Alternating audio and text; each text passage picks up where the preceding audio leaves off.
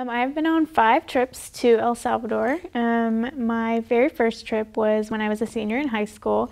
Um, we went with our church youth group, and um, it was only for a week, but it was like the most fun week I've ever had. Um, I was terrified going um, at first because it's a foreign country and I had never been out of the United States before, and they speak Spanish, and I had taken a few high school classes but was not at all confident in my ability to comprehend but it turned out being the most incredible week that I have ever had. Um, and then I keep going back um, as often as I can just because I am just absolutely in love with the environment and the people. Um, yeah, and the Lord never fails to give me a new amazing experience every time I go. SHIP has impacted my life in probably more ways than I even know right now. Um, but probably one of the biggest ways that it has impacted me is just opening my eyes to what I can do when I step out of my comfort zone and just um, do what the Lord is asking me. Um, and just, even if that is something that scares me out of my pants, um, I can do it because I. Um, I've seen myself do it now in El Salvador. I've just seen myself do so many things that I never thought that I would. Um, and now I just really have a confidence that when I am following the Lord, I really, um, there's nothing else, else that I could need. Um, I think there's a lot of similarities and differences um, to life in the United States and El Salvador.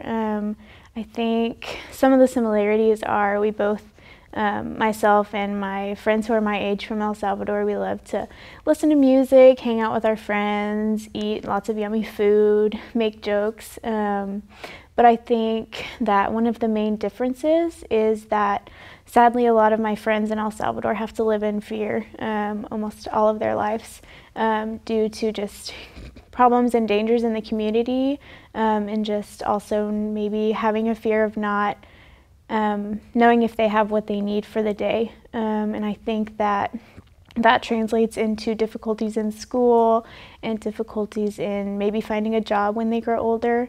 Um, so I think that that's one of the main differences that I've sadly have to see.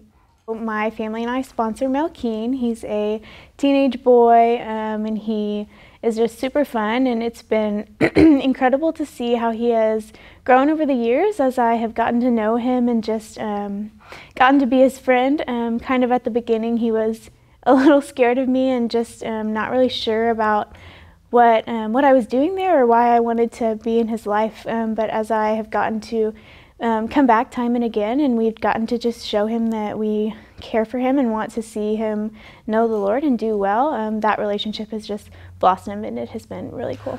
My life perspective has definitely been um, changed a lot by being in El Salvador. I um, I think that whenever I would go throughout my day before going to El Salvador, my focus would be on myself and what what do I need to be doing next? Oh my goodness, what is happening with everyone around me, um, and why am I not a part of it? And now that I have been um, just in the environment of El Salvador so many times, I find myself um, almost always thinking now just the complete opposite of what is everyone else doing um, around me, and how can I just like be a part of their lives and see um, see how they're doing and how they are growing with the Lord because in El Salvador they truly care about relationships over any kind of schedule or um, timetable. As um, anyone who's been there knows, if you plan an event, they'll show up about an hour and a half after you tell them to. Um, but that is because they truly care about um, their relationships and their friendships over um, just any kind of schedule and just um, events. So I think that that has been one of the biggest ways that my perspective has changed. I think that the thing that means the most to me about SHIP is just um, being able to form relationships with the people there and just seeing how they change over time.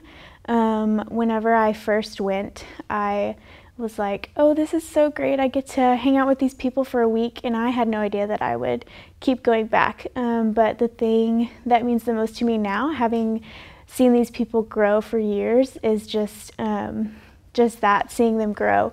Um, I get to watch them get married and have babies um, and have their quinceañeras and graduate school um, and just like to be able to be, be there alongside of them and have that friendship grow over time um, is probably the thing that means the most to me.